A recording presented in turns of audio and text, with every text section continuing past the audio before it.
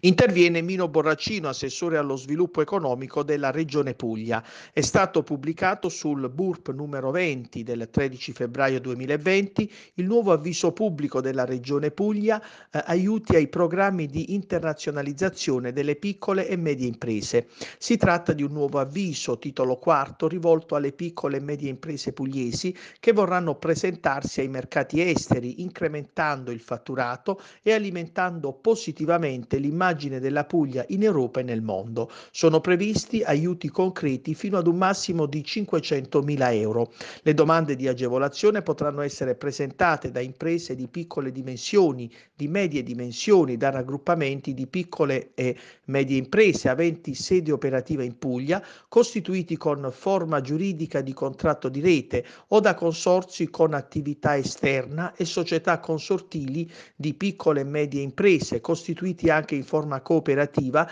aventi sede operativa in Puglia,